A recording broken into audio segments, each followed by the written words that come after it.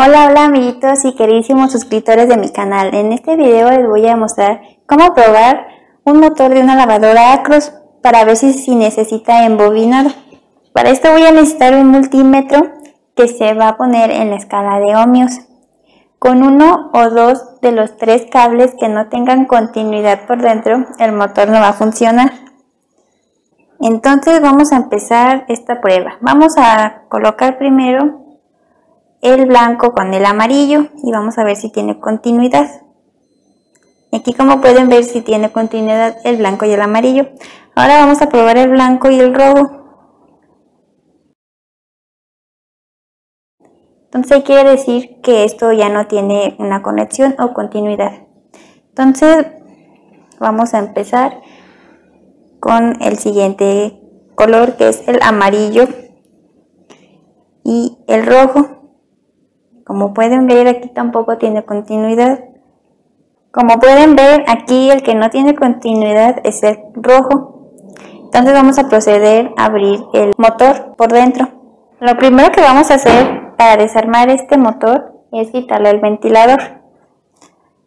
Y para eso voy a hacer así y hasta que bote el ventilador.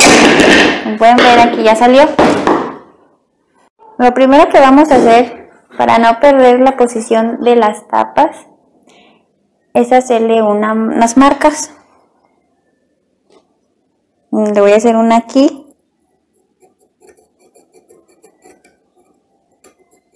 Y una aquí abajo. Y de este lado le voy a hacer también una. Y una aquí abajo. De este lado también le voy a hacer otra. Y otra aquí abajo.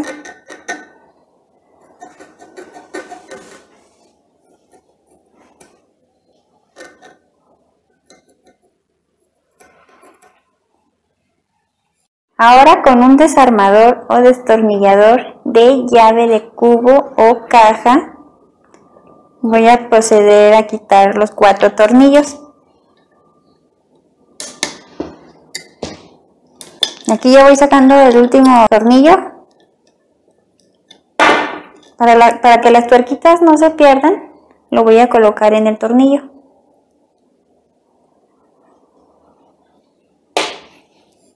Ahora para comenzar a abrir, abrirlo, le voy a meter un destornillador aquí en la tapa para que vaya saliendo. También del otro lado.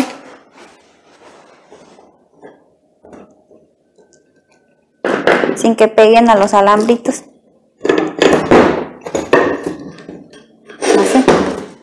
Para que salga el campo necesitamos hacerle unos pequeños empujones por los cuatro lados.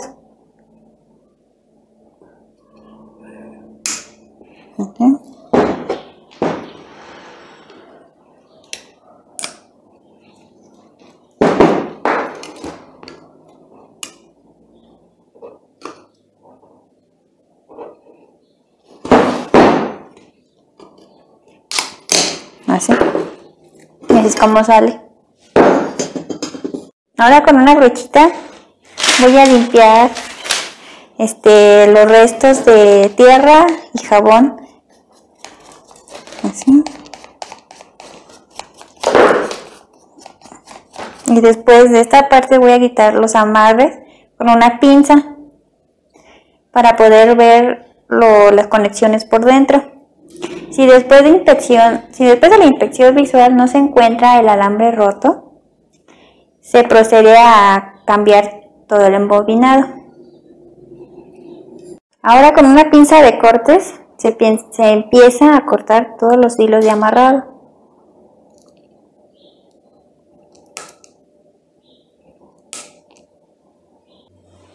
Después de hacer la inspección visual no encontramos ninguna falla en las conexiones. A lo mejor debe de estar la falla muy adentro y para eso sí se requiere un embobinado total.